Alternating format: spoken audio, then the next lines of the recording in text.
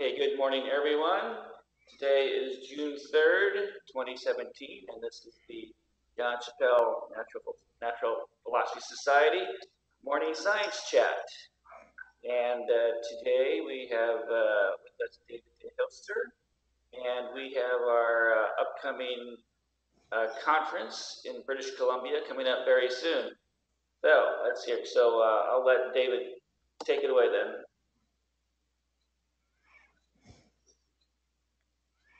All right, so I got to get my everything on there. Um, yeah, I'm gonna. What I'm gonna do is I'm gonna show some uh, slides here. I made a slide presentation just in case I couldn't make it, but I found a politically expedient and correct way to get here. so I'm actually at a different location here. Um, I can't share something, but maybe you can do that. Um, uh, Movie or the PowerPoint? Franklin, the slides, the slides. Okay, let's do the slides. There we go. All right, those should be loading. I'll let them load. And then that way I won't be talking. My tendency is to talk about things before they come up. So I'm going to try to. Hey, there we go. The C CNPS 2017. Um, we are going to be doing it in Vancouver, one of the places I've always wanted to do it. One of the reasons um, I suggested doing it there was so that we could be a little bit more international. Um, one of the other places we were thinking about eventually doing it would be in St. Petersburg because there are numerous Russians there and they were they would be very happy to help host that. So um, anyways, it's a very beautiful university. So if you can make it, it's on the West Coast as well. And um, uh, who lives there actually is Duncan Shaw. So we do have a person who is sort of local and he'll have something at his house actually. I think you're going to have to do the slides unless you can give me control or something because I see no control over them. Well, I should be able to give you control. Let me see if I can do Okay, no problem. Let's see. So- Where is the thing that gives control? Yes, All right. Somebody's heavy breathing. Wonderful. see here more. There's some way I can give you, I think I have to promote you. That's it. Okay. Yeah, I think you do. Yeah. Okay. Now you should have control, I think. Yeah, there we go. Okay, I'm going to kick Franklin off here. All right. No, I'm just kidding. Give me control. All right. Uh, but anyways, let's go to the next slide. This is our poster cut in half, basically. At the top here, you can see where the university is. It's actually at that location that you see there. So it's quite beautiful. Um, this year, uh, we have a special guest coming as exclusively to this event. In fact, um, his his um, airfare and hotel and everything is being paid by one of our directors' generous donation to get him all the way from Australia. He says he usually doesn't go anywhere without his wife, which usually is a signal you got to bring his wife, and that would have been just outrageous because Australia is not the cheapest place. Also, it's on the west coast, so it's going to be cheaper than trying to get him to the east coast. But I've been trying many, many years to get him. So anybody who's going to that's going to have a really big treat because, in my opinion, and many of us who subscribe to expansion tectonics, this is the most famous geologist of our time. And um, again, if you don't know about him, he he was um, the successor to Samuel Warren Carey, who was actually a plate tectonics person, but turned into an expansion tectonics person. But but Samuel Warren Carey is still very much uh, um, revered in the plate tectonics world, even though they sort of tolerated his what they call dabbling in the in the uh, expansion tectonics. So that that's going to be just amazing.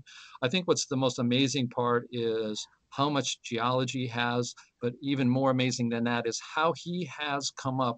And this is one of the things I'm dying to discuss more with him, is how he came up in geology with the idea that not only was the radius of the Earth increasing, but the mass has been increasing. And he came to me seven or eight years ago. I probably told the story. I apologize, but it's worth repeating that he was begging for us to come up with some mechanisms. And some of us have some mechanisms, and there are actually some people looking at the mechanisms that it's coming from the sun going into the poles. Um, we think it's mostly in the South Pole, but regardless, it's amazing because how can you have a geologist who actually takes and comes to us and say, I, I have geological evidence of mass increase. That's pretty amazing.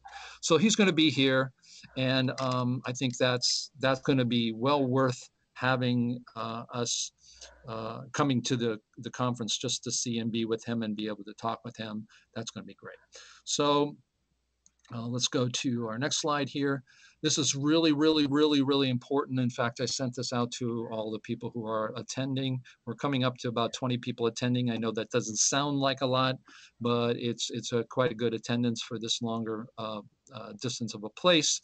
And uh, the problem is with this university, they require me to get a block of rooms, and then I can only diminish that by 20%, and then we'll be responsible even if we don't fill them. It's a mess but every every conference has their challenge and that's what this one is. But i will tell you the rooms are beautiful. They're $57 a night for these nice dorms. This is just one of the common areas for people to a dorm and they have common areas a kitchen area. It's really brand new system. Um, it says 69 Canadian dollars, it's 57 for uh, a night or uh, sort uh, $110 for like a private hotel roomish kind of thing there. But you want to do this. If you are going, do it now. You have until June 19th, or you will pay through the nose. Vancouver is pretty expensive downtown, so you're going to be not paying probably less than 200 a night. Of course, don't want to do that. So um, we really are looking forward to, to to people and, and staying in this place because it's very beautiful. So you need that in by the 19th. There's a link on our website. So if you go to the website, you will absolutely find it. Go to the, the first thing I talk about and you click on it. You use their private system to get in there. So they you use the UBC's website for um, registering your hotel room and you pay it through them, not through us, which is really great actually because it's a pain. Um, the proceedings are going along really well. I think we have at least 16 authors this year. We're in a bunch of papers. We're well over 200 page, pages. So very happy with that. We've got some new people in there. I'll talk about where some of them are coming from, um, but it does use the shared LaTeX online, which is, is great. Uh, the good thing is I now have a converter I've made uh, out of a computer language that uh, a friend and I and I wrote called NLP++ for natural language, but it will uh, once you have any paper that's in ShareLaTeX, we'll be able to translate it and put it into the, our wiki, our natural philosophy, wiki.naturalphilosophy.org, which is coming quite along quite well as well. Um, we also have a lot of video help with this. We have people help. My father's actually doing some. Some people will pay uh, people to do it per page. It is $15 a page, but if you do do a lot of pages, we, we absolutely give a discount for a person putting in 30, you know, 20, 10, 20, 30, 40 pages, which some people will do. Actually, we have one person um, looking to do a monograph. We don't know, I don't think it'll be done this year, but a monograph is when a, one of the members publishes an entire book with us and uh, someone is looking to do that this year. So anyways, that's going along swimmingly well. The system is great. It allows for us to go all the way to June 30th. Come on, look at the way the world works now. June 30th is when you can be the last day of your, your um, abstract. We will have books at the conference 19 days later, probably actually sooner than that. And the system for shared latex isn't done in such a way that making the book itself is a matter of just moving the files, which is a pain, but moving them over into a common area and then running a program where I wrote I wrote some latex program program to make a book out of it. Man, latex, I, I, I know a lot of computer languages and that's not one that I understand halfway. It's really, really primitive. But um, anyways, that's going along real well. Um, another thing that I want to talk to about is something that's working really well now is social media. Now everybody goes, yeah, it doesn't work because people aren't reading my right. Uh, well, it is working, and I have actually um, been working with this a couple years to see which directions work best. And what we need to do, folks, there's there's two things that are working well. Uh, one of them is going to be advertisement. I've used advertisement for a cultural group of mine just last week where no one was coming, and for twenty dollars, I got 15 new people into the door. Now, it doesn't mean that's what's going to happen at a conference necessarily, but what it means is we can you can pinpoint people down to exactly where they live, and you can pinpoint them down to exactly what they like. Um, my daughter's uh, uh, in drama. for instance, is and we put advertising for people who only like theater because the people who was going to go see a middle school uh, drama play unless they're interested in theater. So we're, we'll be able to really pinpoint this down and target our audience. But we need Facebook accounts from you guys. And making a Facebook presence, I'm going to show you how making a Facebook presence and a YouTube, I'm going to show you a YouTube channel, and it's working. I have absolute proof it's working, and um, it's a slow process. I've seen it work with polit- politi- polit- political voices out there who are not mainstream voices in the media, and I've seen them go to a couple subscribers.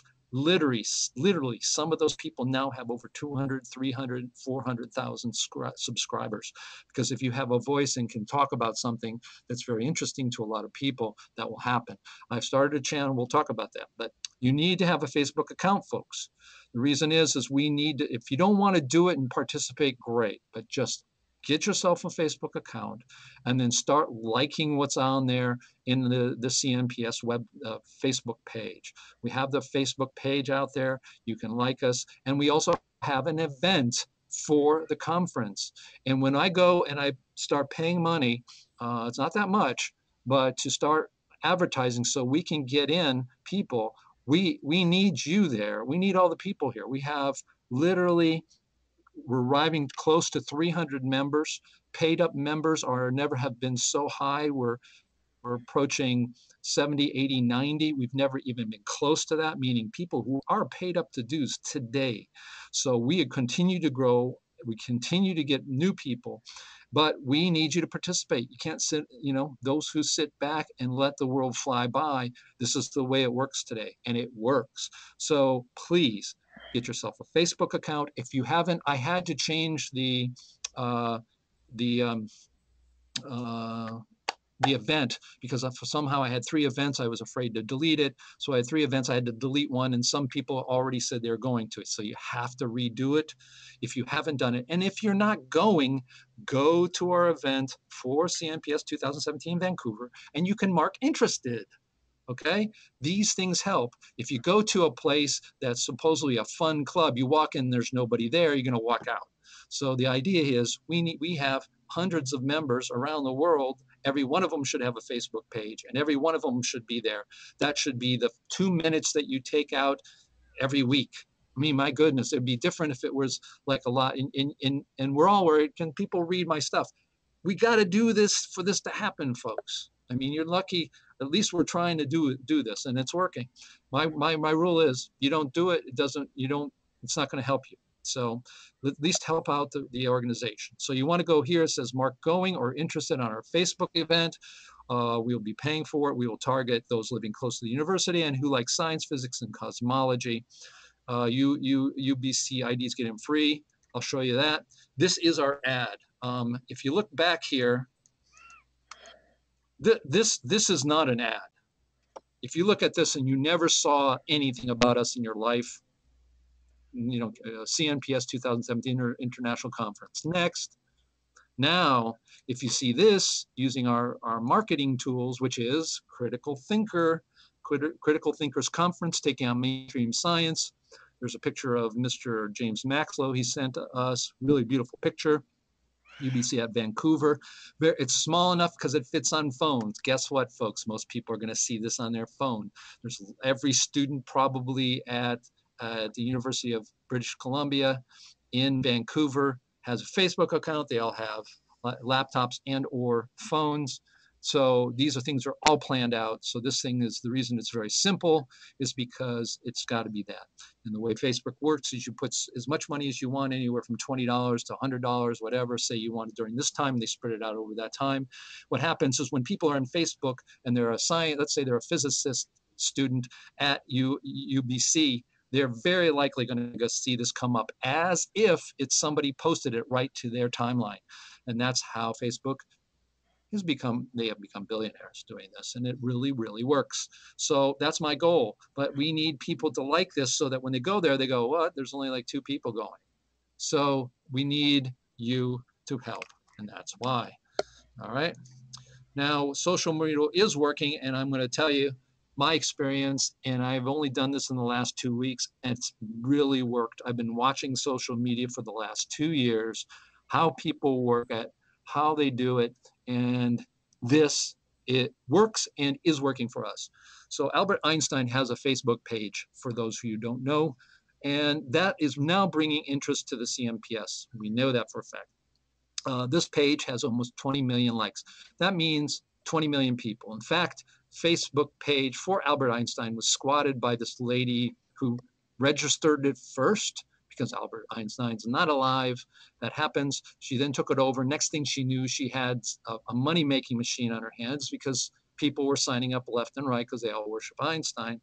So much so that if you don't know about Genius, who's running right now, Genius is the series that is Ron Howard is producing, and there's a couple of Academy Award people, three I think, involved between producers and the actors, and it's about Genius called Einstein. Uh, uh, it's called Genius about Einstein's life. Super dramatic. It, it's it, it, you don't like you don't want to watch it.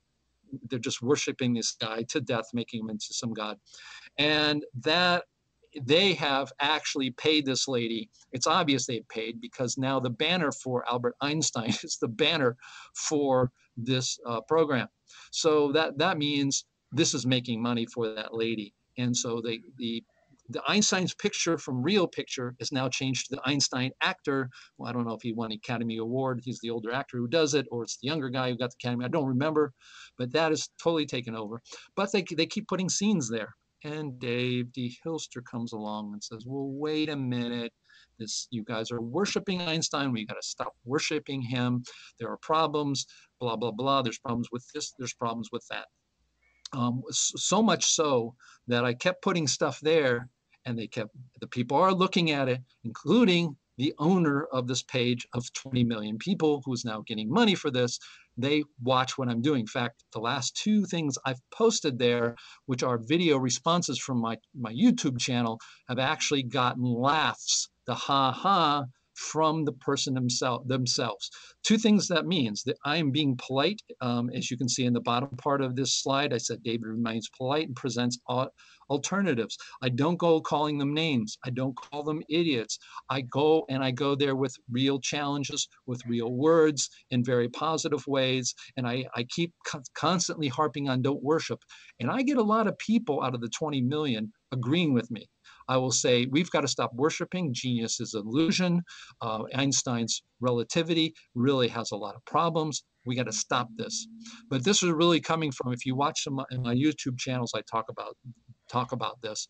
And that's really coming, this is all coming from this whole Einstein push and Ron Howard. He said, oh, it's because Trump says, oh, there's no climate change. Oh, that means he is against um, uh, science in general, and therefore we now have to launch, we'll use Einstein. Oh, by the way, we don't check if Einstein in fact is right or wrong, but we'll make him into a god because um, he has such an interesting life. And then of course they explain all of the funky things, but there's a lot of people who are skeptical, skeptics about Einstein and every time I read something, I post it many times. I will make a video response to what I see there and not only say, I disagree, here's why, blah, blah, blah, take a look at this. That drives people to my YouTube channel. So that's that's working. So let's take a look at how that works. Um, I call it Dissident Science. Actually, I made a podcast in 2015 called Dissident Science. It's dissidentscience.com. Uh, I interviewed a number of people, I think some of them maybe even here, and then it went sort of by the wayside um, for many different reasons. And next thing I know, this year, 2017, I start getting emails from people saying, Why did you stop? I've been listening to all your podcasts, love it. The podcasts are actually on Apple Podcasts channels. So they are there. I haven't checked on, on the number of people that listen to them, but it's probably enough. And so that got me the idea of making this channel because I've seen people in the political arena who are reporting on things that mainstream won't won't report making their own uh, uh, YouTube channels. So um, what what we want to do is is look at this and emulate what works. So that's what I did. Um, I started only probably about two weeks ago. I've already had 500 views on this. The one, one in particular, I'll show you, really generated a lot of fuss.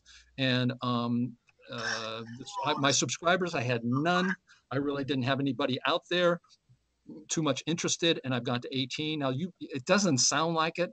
I've seen this exact same pattern go on with people in the politics, really great speakers on their subjects, and it just takes time for people to find them.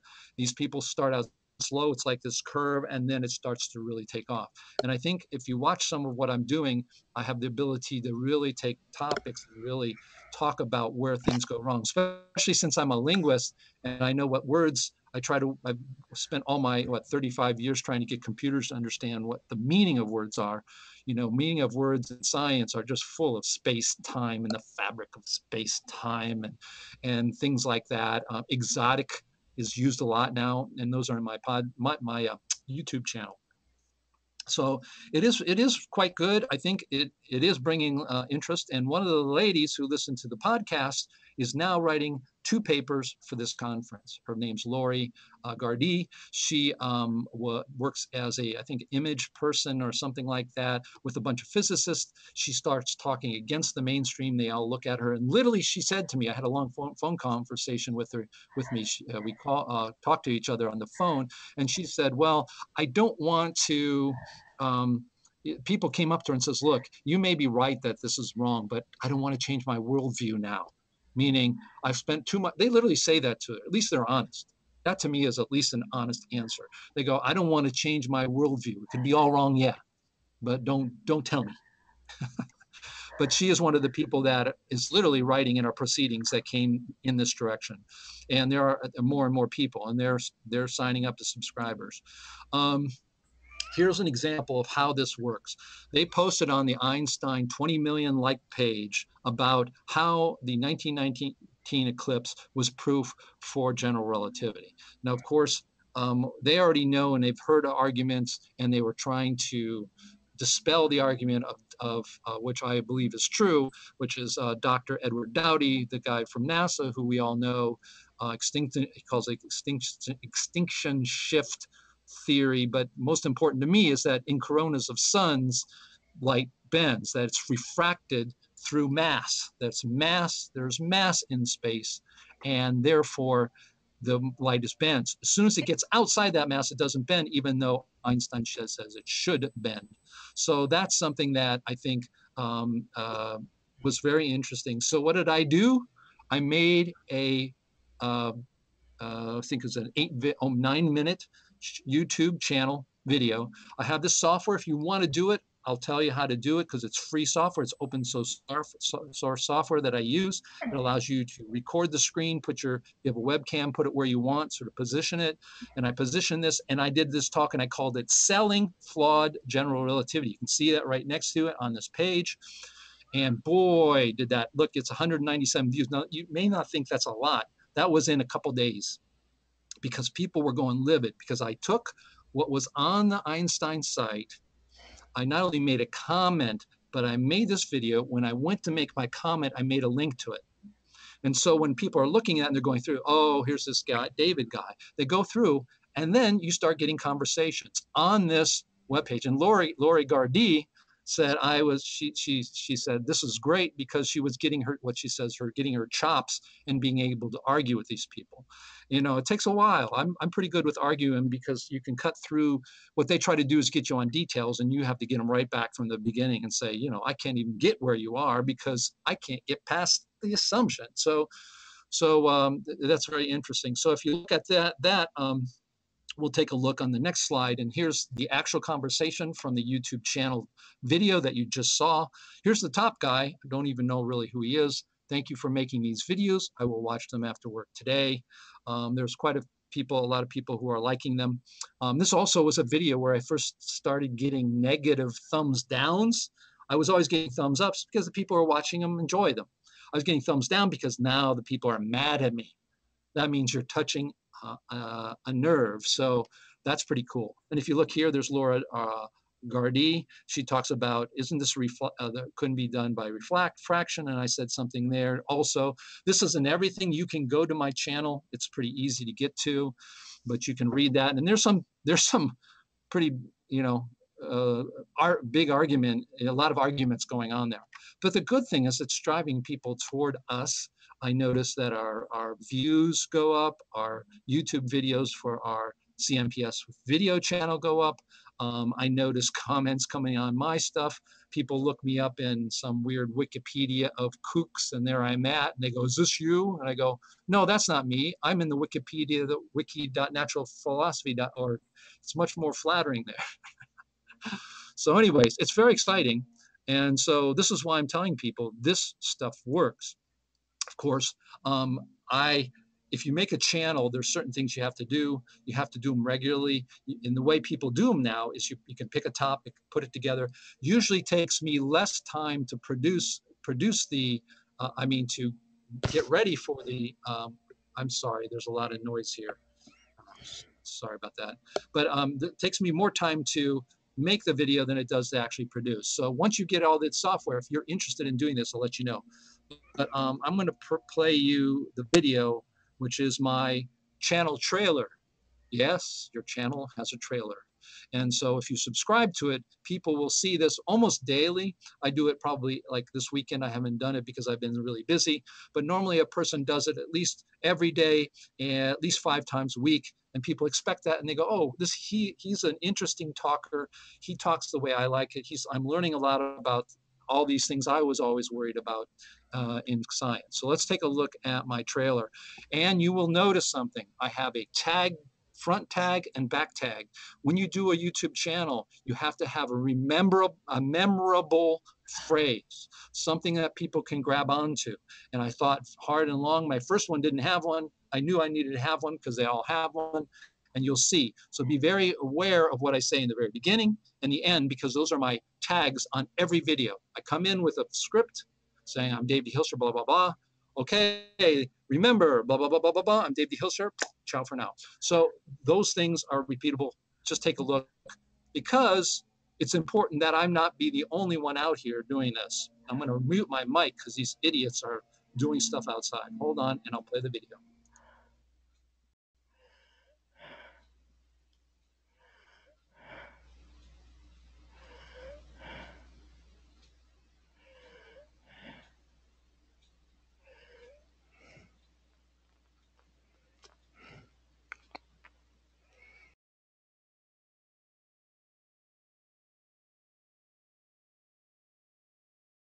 Listen in, I'm here to tell you the truth about science. Something your university professor won't tell you, the mass media won't tell you.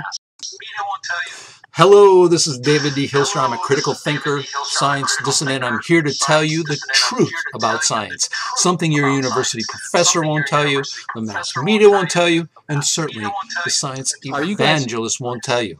This is a very different channel on science. Very different channel on science. Yeah, let me get my yeah, you're getting it twice. Yeah, I'm getting it. Ray Redburn. I'm going to try it again. I had my, my, mic on and I think it was doing a feedback through the mic. It's only a minute, so it's not a big deal here. Let me try it again. Hello, this is David de Hilster. I'm a critical thinker, science dissonant. I'm here to tell you the truth about science. Something your university professor won't tell you, the mass media won't tell you, and certainly the science. Hello, this is David de Hilster. I'm a critical thinker. We are okay. I just need everybody to stay off their mics as well. Okay, let's try to get through this once and then we can make comments. Okay, everybody? I think it's working now. If you don't see it move, listen to the words, okay? Just depends on your connection, how good it is. Also, I can I have a link where you can go and watch this for sure. All right, so let's try it again. Hello, this is David de Hilster. I'm a critical thinker, science dissonant. I'm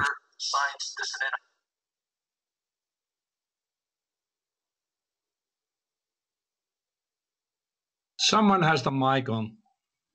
That's the problem.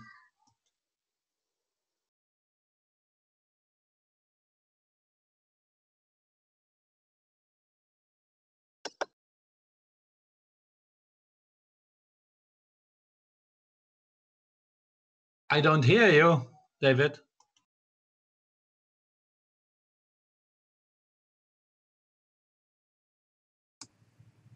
Hello, this is David de Hilster. I'm a critical thinker, science dissonant. I'm here to tell you the truth about science, something your university professor won't tell you, the mass media won't tell you, and certainly the science evangelist won't tell you.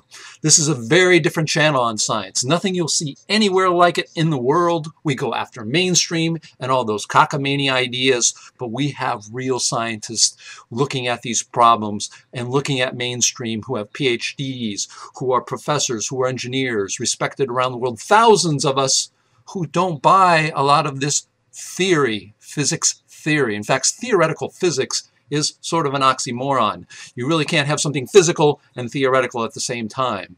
So if you are a person that is skeptical about relativity, plate tectonics, maybe you think the Earth's expanding like we do, you're, you're skeptical about the Big Bang, what the heck is that? And many other things, including particle physics and the zoo of particles that make no sense, have no physicality, and you agree perhaps with Dr. Alexander Unzicker, a physics physicist from Germany, somebody like myself and many of us who think we should throw out particle physics altogether. But we love real science. We are mostly engineers and professors. We don't believe in fairy tales. So if that's the kind of thing you want to see, then you should subscribe to this channel. We're going to be looking at up-to-the-date articles, blogs, videos, and tearing them apart and showing you where all the mumbo jumbo and the double talk is and what to really look for and some even great things that the new people outside the mainstream are doing. So you don't want to miss it. The only place in the world you will find this kind of discussion. I'm Dave de Hilster and remember this, don't take what anyone says on faith. Stay critical, stay thinking. I'm Dave D. de Hilster, your science therapist. Ciao for now.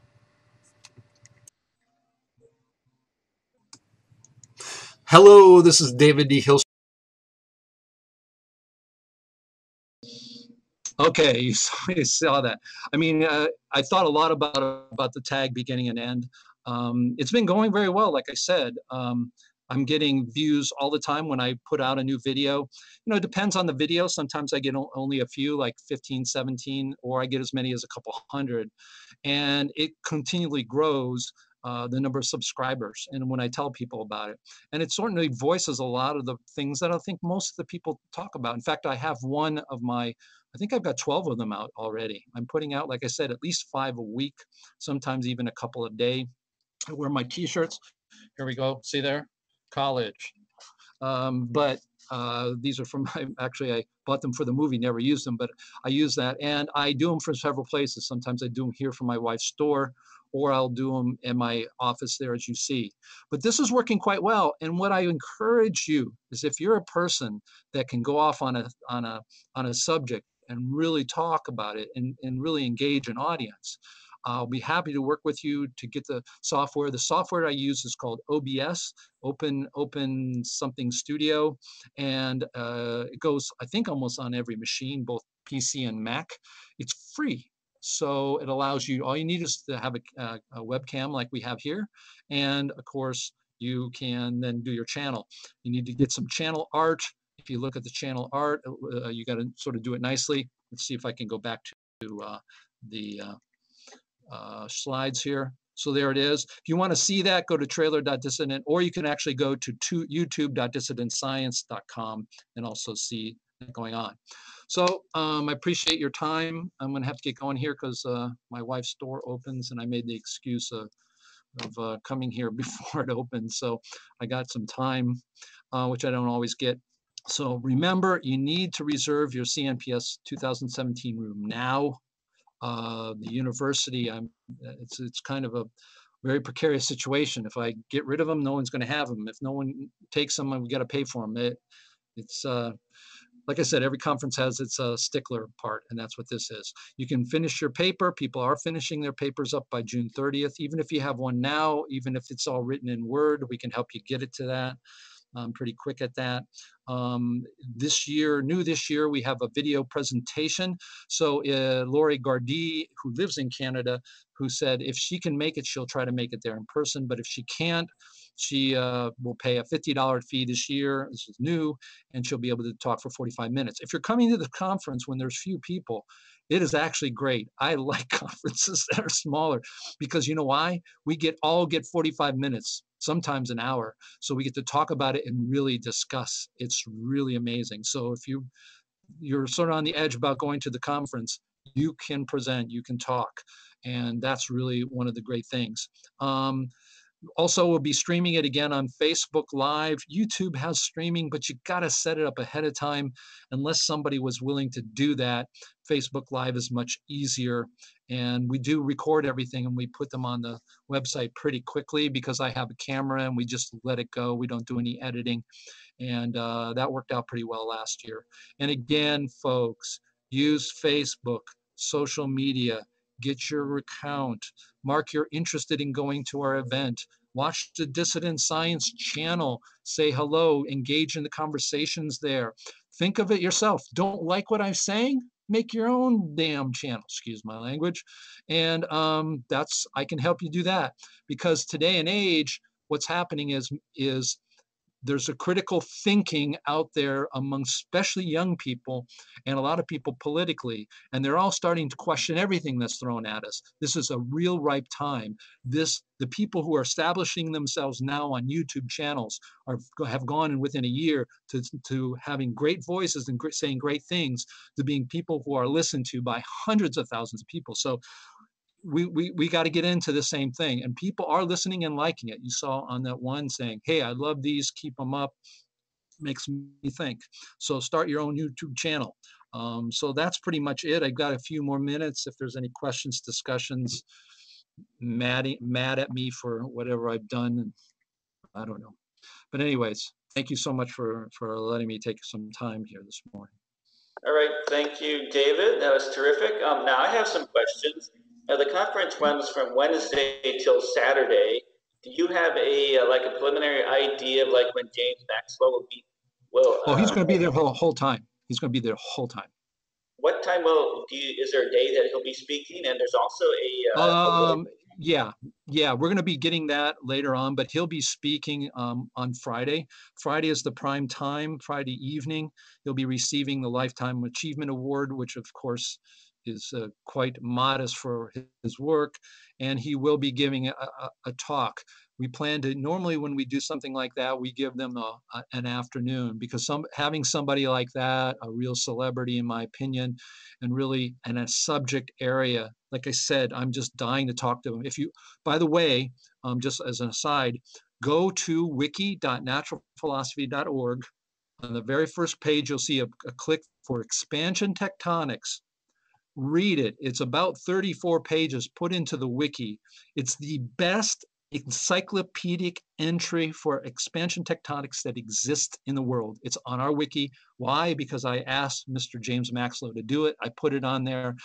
Read it, read it, read it, especially the part where he talks about mass increase. So, yeah, the, the actual schedule, he will be arriving actually on Wednesday be fly him on fly him a day early would have cost us $300 more so he's arriving on Wednesday. He'll be there Wednesday, Thursday, Friday, Saturday, and fly back Sunday. So we'll even have time with him offline. So it's a really uh, uh, an amazing thing. And we will be putting together the schedule. Usually, who does that is I'm going to get uh, Nick Nick uh, Percival, who's one of the directors. Uh, he'll be putting that together. He usually looks at the papers and organizes those. We have one evening, which is going to be a Thursday night, which will be at Duncan Shaw's house. He lives in a very nice house. He if you don't know Duncan, he was one of the uh, Supreme Court justices of Canada. He's now retired, and he's an ether theorist. Theorist, I can't say it. So that that goes. So the actual conference runs from Wednesday morning to Saturday at five o'clock. Uh, many people stay through that whole time because if you're going to go there, it's really, really beautiful. We're, my father and I are flying in Tuesday evening, flying back on Sunday. All right. Now, I was also interested. So I took a peek at your Dissident Science channel in YouTube, and you've got like five videos. But as a channel, uh, are do you also put links to like other people's videos? Like if we want to. Absolutely. Absolutely. In fact, what you do with the channel is I have about, I think I have 12 videos now on the channel and, and will, I will start adding them again this weekend. And what you do is on your YouTube channel, you can, you can, um, how do you say, um, customize it. one of the things you can customize are your liked videos. So if you go there and look at the bot, go scrolling down on that channel, you'll see liked videos, um, including one I put for um, uh, a 1992 or 93 lecture by John Chappell. I put that there. So what you do is a what'll happen is people like what I'm saying, people like my you know philosophy, my point of view. They're going to say, "Oh, what does David also like to look at?" And what happens is then you all I have to do is as a as dissident science uh, as logged in in Gmail uh, in Google as dissident science, I then go to any YouTube. Anytime I click a, uh, a like, that will appear. So what I normally do is I will go around and click on things. So if there's especially some, if I like a talk for the CNPS, it'll be there. So people will come there and they'll also see that. Uh, also mention things also in my video. So yes, you can absolutely with your um, channel recommend other videos that you like that, of other people. And there's so many of them. And I do talk about them. I already talked about, if you haven't seen it, take a look at the one I do on, I believe I did it, on this guy who's modeling. Um, I'm trying to get him into the organization. He's modeling expansion by making these teeny little balls, making them all gravitational, and then putting more in the middle. And you can watch the Earth crack apart, and they're literally only calculated by using gravity, gravity calculations using a physics engine. It is amazing to watch. It shows um, he, he's working on that software right now. So once in a while, I will actually um, go ahead and have something up there that is. Uh, and so I'm just uh, sharing that with everyone Talk, your uh, YouTube page here. So if I send you about back to, uh, you, all you have to do is have Skype.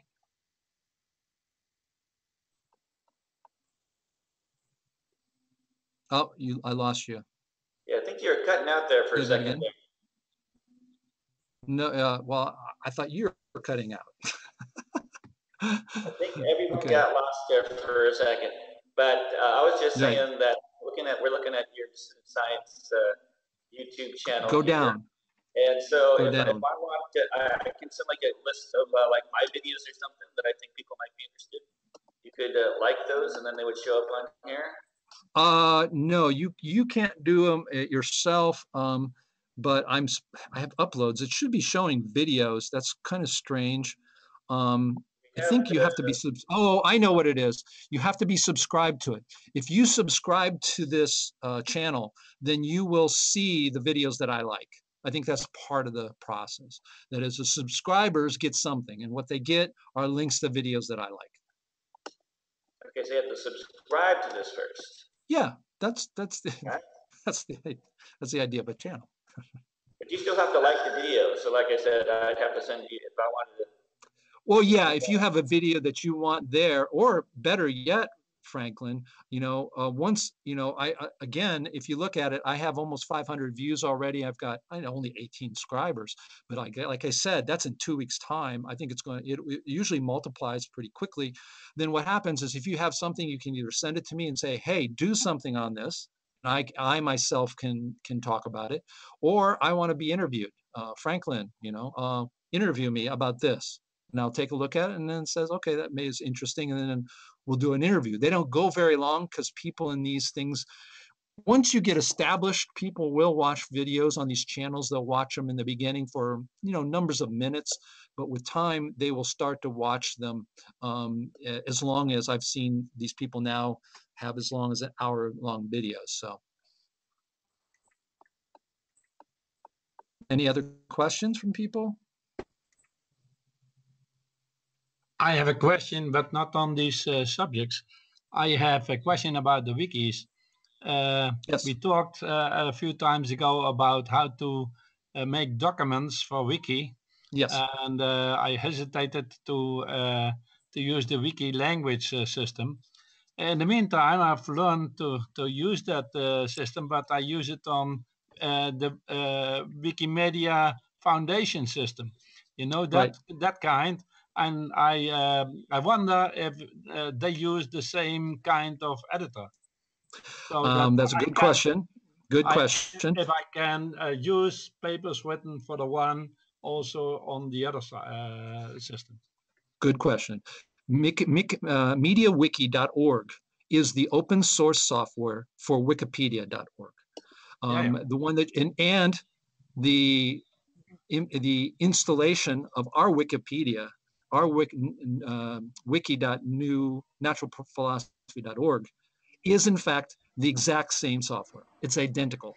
In fact, I actually also imp, im, im, how do you say imported thousands of templates. So those templates where you see the boxes on the side, Yeah, yeah. believe me, it took me approximately 20 hours of programming and downloading and installing to get the Wikipedia where it's at. Plus, I imported our database into that. So the answer is 100% yes. It's exact same software as Wikipedia. Well, I I have constructed um, um, a, a project on uh, Wikiversity.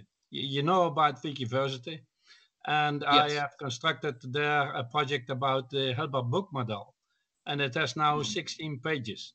So it's Okay. a fairly complete uh, project, and I'm currently translating it in uh, German and in uh, uh, Dutch. It is, was uh, originally written in English, but that's not my native language. So uh, Mhm. I'm uh, translating it back into Dutch, and uh, I'm halfway there. So Okay. uh, if, if you're interested and see, and if we can uh, uh, also use that same page, I don't know uh, how um, Wikimedia is uh, thinking about using these pages and on the- another Wikimedias.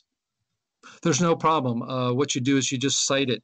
Um, as long as you cite what's in Wikipedia, you can you you can a lot of times just copy it. You just give it copyright I know saying I know how to copy. Right. That, that's no But problem. it, it, yeah. So You it- take the whatever you do there can be you can. It's literally a, co- a copy and paste. There's a way, of course. There's an export and import in all the Wikimedia. So that's what I do.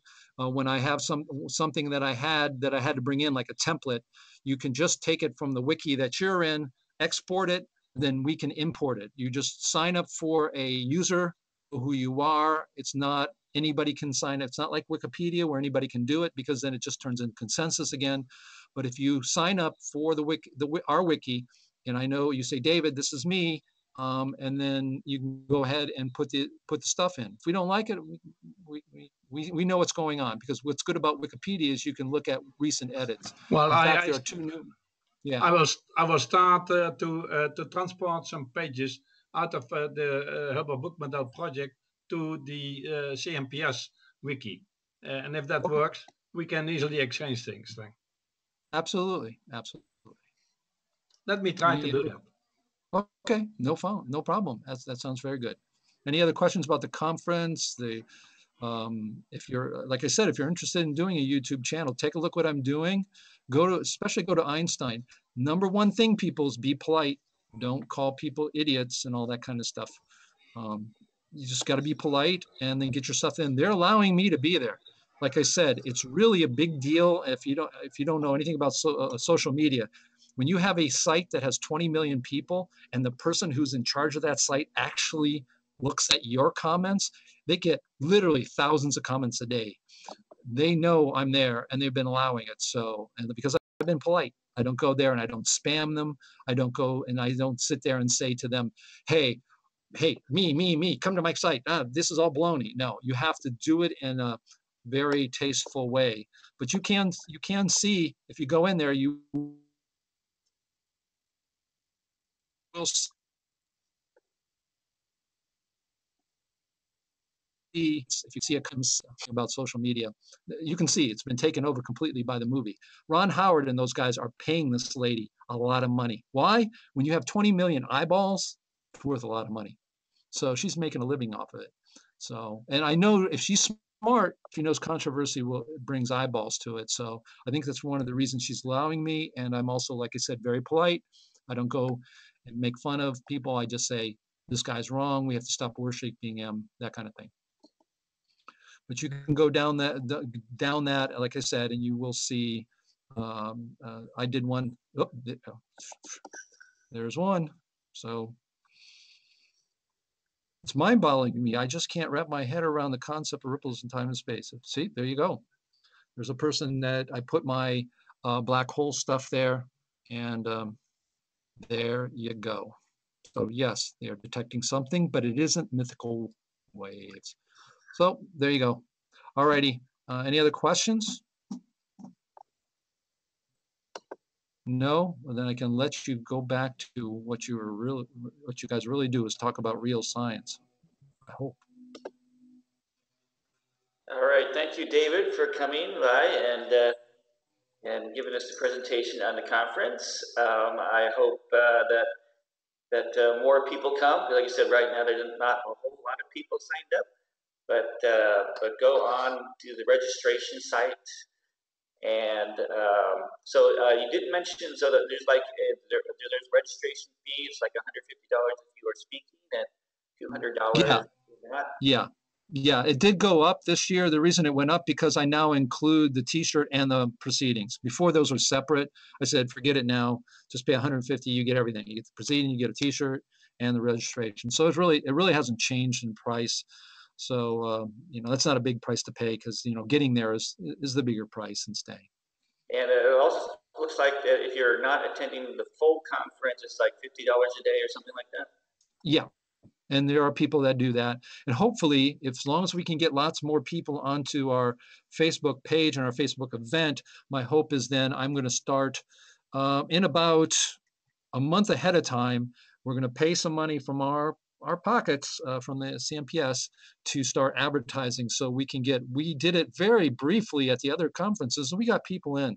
I know this will will bring some interest even if there are people who are skeptical but um, i think that's something we can do. So uh, um, so we may even get somebody who's close who more on our side and will actually pay to be part of the conference. So but if they have an id they can get in free. So if you're if you if you are here and you're a member of this university you don't have to pay So, uh, uh, how are you arranging for having people talk? Are you making a schedule on that, or people? I didn't Yeah. see anything in, the registration yeah. page particularly. about, Right. like, we will have we will yeah we will have that we will have that um probably normally we have we start on that three weeks ahead of time so three weeks ahead of time we'll be knowing. Uh, we do have in registration on the registration page it has a place. Click on the pages you will the days you will be there and the days you talk. If you do not do that you will be scheduled wherever. So that's not a problem. You can do that right now. It costs you nothing. All you have to do is log in literally click on the stuff and say save. When you do that, everybody who's going who wants to talk, tell us the days that you want to talk, and we will schedule you on those days. We always have to change it a little bit. That's always the case. So, Okay. Let's see here. Uh, let's see. I, I can share the registration form so people can see what that looks like. yeah, I'm going to get going here in two minutes. So, All right. Yeah, I'll just. yeah. So that's Yeah, the you can see the- registration form. Right. Yeah, if you click on it, once you click on some of those things, uh, you, can unclick them. But if you click click on those uh, boxes there in the registration, go ahead. Um, you'll see that you can choose those days and everything. And then if you go to the bottom, go down, um, right? You go down at the toward the bottom, then you can say what your affiliated your flight info, and then you just hit the save button. Lodging has um, where we are or others. All we have. We don't have I don't have any other things other than the two the, the place we're staying because it's pretty expensive there. And then if you click also on the uh, payments, click on that payments um, link right there. You'll see then what the the if you are at the very top, uh, scroll down a little bit, you'll see abs, absentia. That means you don't pay anything for it. That's you're just in. The reason is is if you are submitting our uh, pap- uh, art. Uh,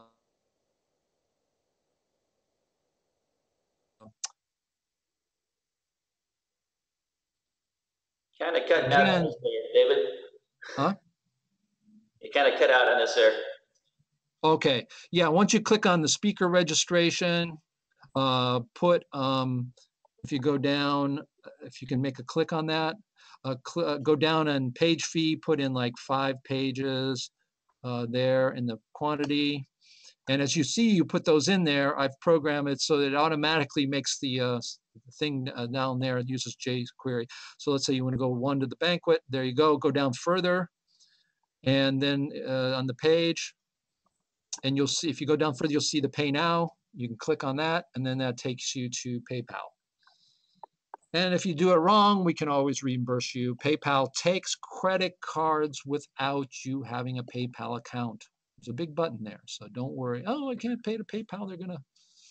I get that now and then. So okay. Okay, so easy peasy to register, so.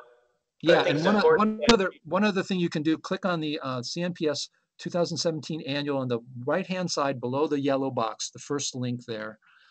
You'll see the uh, first link there. Those yellow ones are for yourself. The very top one, CNPS annual. Now, if you go there, what you can do is you can also see reserve dorm. Go down. You also see there. Um, uh, if you go down right there, see uh, rooms. You just click on that. Once you to do that, and that will take you to the uh, UBC, and that's the standard room. There's another tab there that says budget rooms and shared apartments. If you click on that, that's the one most people are going to be staying in. So we need you to do that now if you are going, okay? And you can change all the stuff up there. All right, I'm going to have to go. Dollars, You know, this is you uh, Canada dollars, so you can translate that to be about less than two hundred dollars. That's going to be, for, I mean, less than three hundred dollars if you were to stay all those days, which is pretty cheap. Most places, three hundred dollars won't get you maybe a night. So, and I know people are on fixed incomes. All righty, I've got to go. Thank you so much, uh, um, uh, Franklin, for everything you're doing on this. Thank you all for doing this uh, uh, here. I wish I could be here, but politically on Saturday mornings, it's really tough. I've got to open my wife's door here before she gets here. So thank you so much. Uh, I hope you take a look at the YouTube, get your Facebook uh, going, and keep up the great work. And we have recordings of these. I put the uh, latest recording on now. On the, so if you didn't see last week and or was here and want to see it, it's up there on our website. Thanks so much. See you later, Franklin. all right, thanks, David. Have a good weekend. Thank you. Maybe we'll have to open the store more often. Okay, so that was a lot of information about the conference and uh, how to promote ourselves. So uh, we've still got an hour. So I wanted to open up the floor for uh, things that people may want to talk about. Does anyone have anything on that they would like to talk about this morning? We've had quite a few things go across the email. Hey, Harry? Uh, Yes. Yeah. You were talking about reading some historical accounts of, uh, I guess, like uh, ether versus, or whatever they thought the uh, electromagnetic wave propagation might be. Is is that a book that's available? It sounded very interesting. Whatever it was you're reading, um, is that available someplace? Um, from last okay. week or something? Bob, to answer your question, yes. Um, is it, um, is it, uh, in a book? No. Um, basically what I was talking about was, um, I'm not, um, I guess I'm not really sure how to explain this, but basically, um, there, if you go back um, and look at the literature um, around the turn of the century, you go to Scientific American, which uh, was a weekly publication. There's what's called the Century Magazine, and there's also a number of newspapers. And what I uh, said was basically gleaned from reading those publications. There is a site that you can go to, and there are a number of websites that deal in this early history of radio.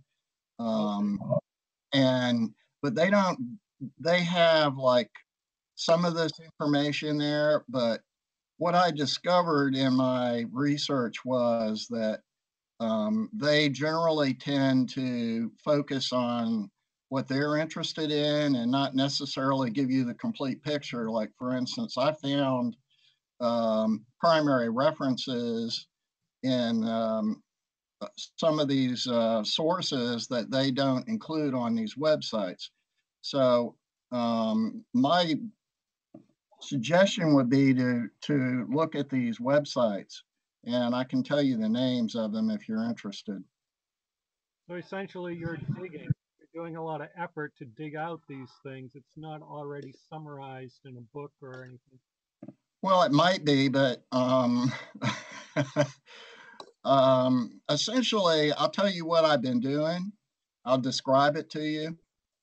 What if you go into the literature, there's a lot of books that have been written about the early history of radio, but most of them are generally deal with patents, they deal with the history, they deal with the economics. So you can find a lot of information about um, Lee DeForest and Reginald Fessenden and uh, Guillermo Marconi, and you can find a lot of information um, and a lot of detailed stuff about the history and and it's a big subject. There's a lot of books published on this, but there's really not a whole lot of people who've gone into looking at the equipment and trying to figure out what it is that that the equipment how the equipment actually worked. Do you understand what I'm saying? So I'm interested in trying to understand why what they did worked and why the ones that didn't work, why they didn't work. Does that kind of make sense to you? Yes, that's. Thank you very much. Uh, it's very interesting. Keep us posted. Now I'm sharing on the screen, so this, this a reference came across this week in the email to this book, and I, I put the link in the chat, which is this is a book, and I thought this was this was pretty interesting, um, which is uh, called 19th Century Ether Theories. Uh, I've read this book. I've read this book years ago. So, what did you think of this book? Um, if you're interested in that particular um, this uh, historical vision of it, they give you the uh, uh, version of history that uh, kind of uh, leads you to the assumption that uh, um,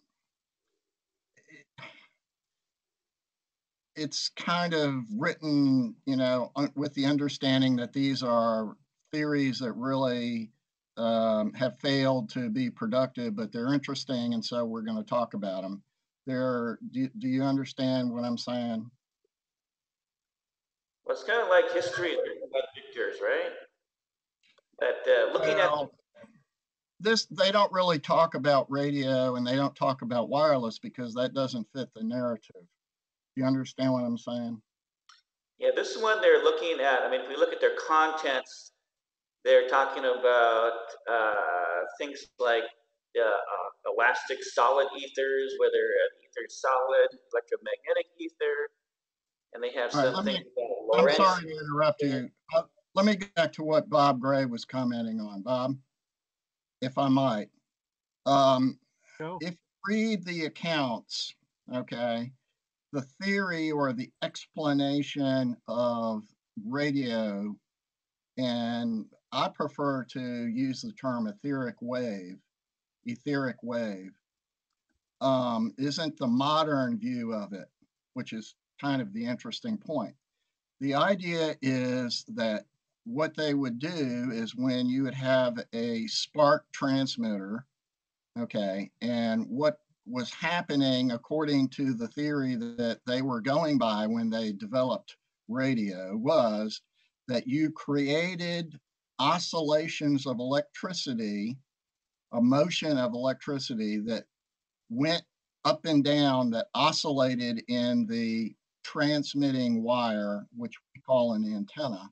They didn't call it antennas in those days. Marconi used the term antenna, but there were a number of different terminologies, which is confusing. But anyway, the idea is that this electricity vibrating in the wire of the transmitter excited an oscillation of electricity in the ether.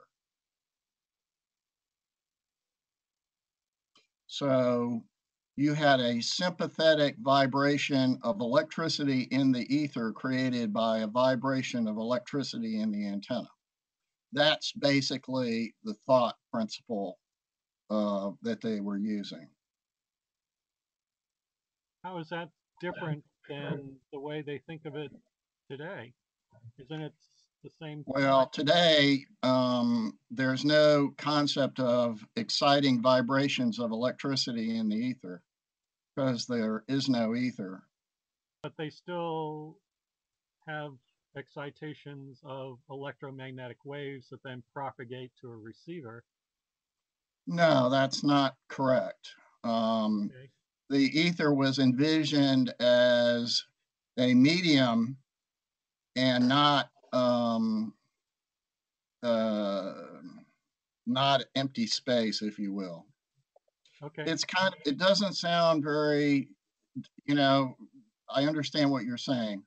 And it's sort of a subtle idea. Okay. The idea is that um, the ether contained electricity. Okay. And that's not the modern view. The modern view is that that um, space is empty and it's a nothing. Okay. And I think you cut out there a little bit, Harry. Can you repeat what you said? I thought that, well, um, I said what I said.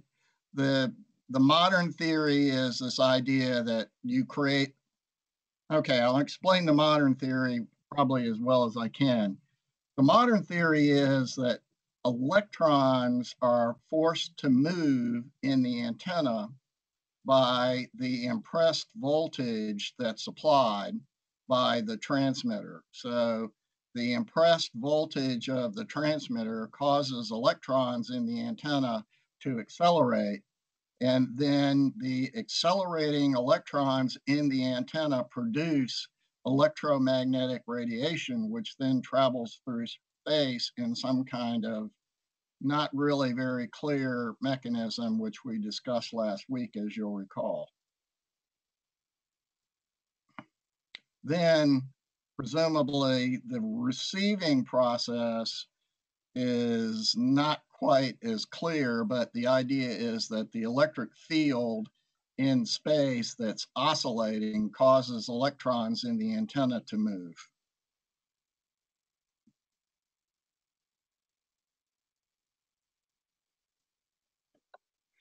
May I join this discussion a little bit? Um, it is possible to uh, take a field and let that field uh, pass, penetrate into material, into homogeneous material. Then when this happens, the, the field gets scrambled, is scrambling up. But it is still a field, and uh, on the average, it behaves like a field. But the, for example, the uh, speed of the oscillations are much lower. It's like light entering a piece of glass. It's uh, similar as the electrical field is penetrating a metal. Uh, there is an interaction. In fact, it is the same field.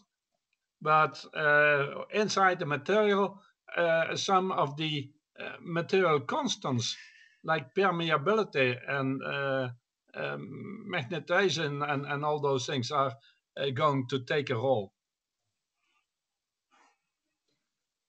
Well, I'm not really sure I understand what your point is. Um, uh, the real issue with the modern theory is that you have to, the modern theory says that the field, whatever that is, the electromagnetic field, is created by the motion of electrons in the antenna. And, um, and then on the opposite side, the antenna on the receiver, the electrons in the antenna and the receiver are induced to move by the electromagnetic wave that passes by the wire. Yeah, but the, the electrons don't don't enter into space, into free space, but the field does. Well, the problem is that this, how the field, how the electron motion couples into creating a field is sort of obscure, in my opinion. It, it is the same field, only in the material, the field gets, uh, yeah, crumbled, crumbled uh, together. So uh, uh, the, the paths are getting lo uh, longer because uh, they have to pass along all these atoms and have to circumvent them. And but but the, the same field can still oscillate, but the behavior of the oscillations are going to change. And that's where these material constants are coming in that only are valid within the material. It is the condensed matter that behaves different from free space. But the field is the same.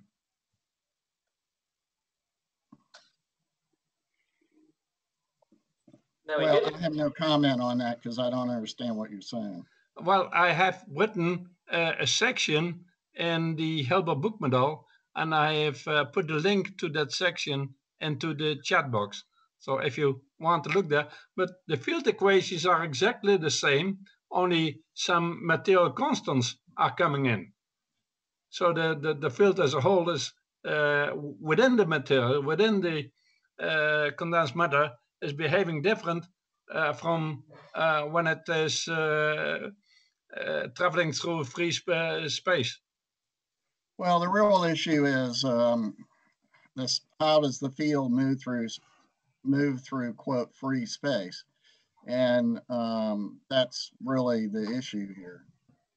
How's that happen? Well, uh, the whole the whole of the space is covered with, with, with fields. One of the fields is space, uh, space itself. Space itself is a field.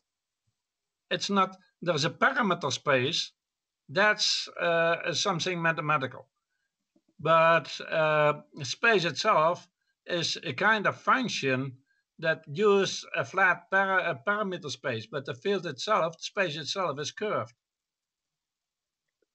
well, there was some controversy in the emails this week about whether what space is made out of. So, um, some people want to make space a material substance. Uh, basically, they, they can't accept space as being nothingness. Um, versus the, the viewpoint I was putting forth, which is that space, empty raw space, really doesn't have anything in it.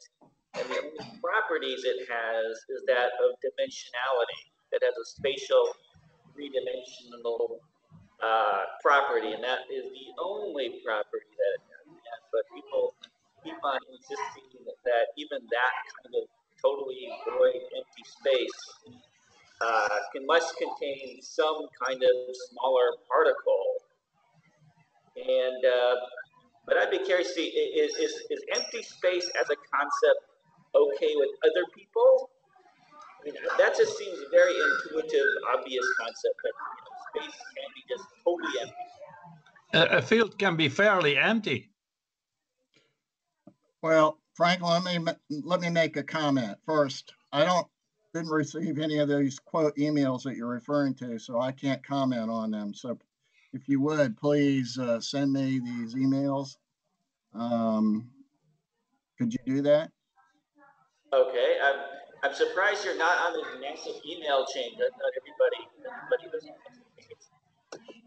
Well, I, I haven't. I didn't receive them, so I can't comment. Um, the other issue is that the question that you raise is an issue that goes back to the ancient Greeks, Aristotle versus uh, um, Democritus, if you will. And um, if you read the uh, history of science, you'll find out that the uh, Aristotle completely objected to the notion of a void, a void uh, concept of space as a void, and um, so this question of whether space is a something or a nothing uh, has never been resolved.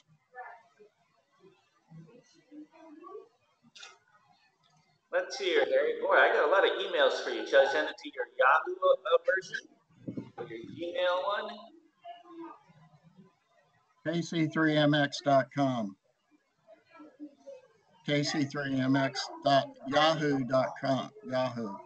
Okay.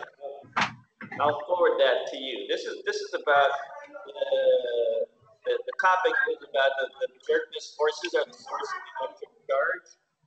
And that's and I'm having a discussion with Robert Buchanan about this. and uh, Akinbo, who, who both insist that that void space uh, must consist of some other, you know, like Planck level particle or something. Well, first off, here's the question. What does void space mean?